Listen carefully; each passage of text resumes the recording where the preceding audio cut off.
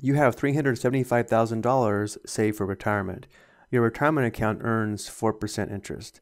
How much will you be able to withdraw each month if you want to be able to take withdrawals for 20 years?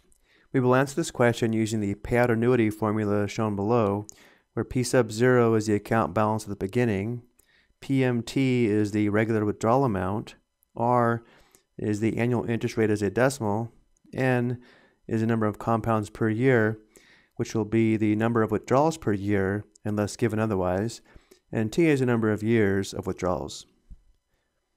So because you have $375,000 saved for retirement, P sub 0 is 375,000, giving us the equation 375,000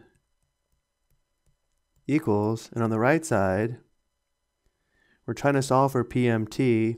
So in the numerator we have PMT, the regular withdrawal amount, times, and then in parentheses we have 1 minus, then in parentheses we have 1 plus r divided by n, raised to the power of negative nt.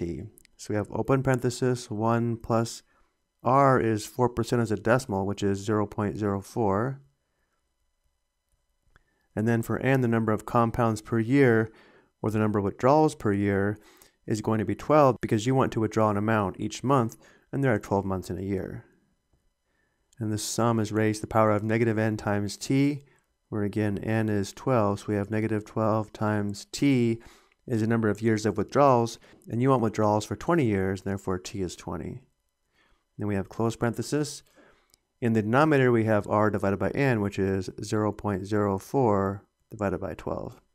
And now we need to solve this equation for PMT, which is the regular withdrawal amount. To do this, we will begin by evaluating this fraction here on the graphing calculator.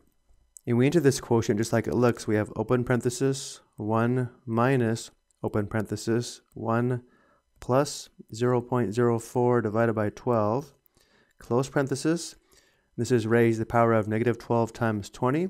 So we press the exponent key, negative 12 times 20. And now we press the right arrow to get out from the position of the exponent, close parenthesis, and then divided by, in parentheses, we have 0.04 divided by 12. And enter. So now on the right side of the equation, we have PMT times 165.0218582. Let's go ahead and write this down. The equation is now 375,000 equals PMT times, again, 165.0218582.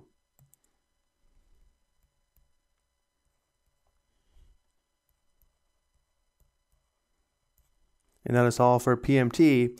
We divide both sides of the equation by 165.0218582.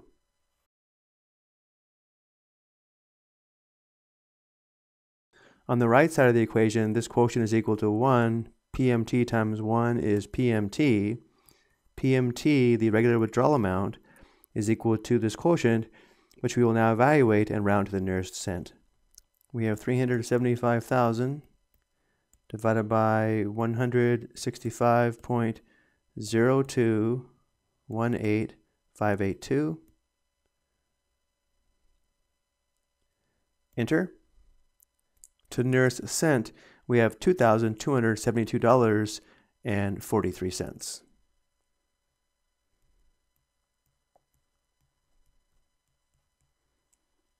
So we now know you can withdraw $2,272.43 each month for 20 years.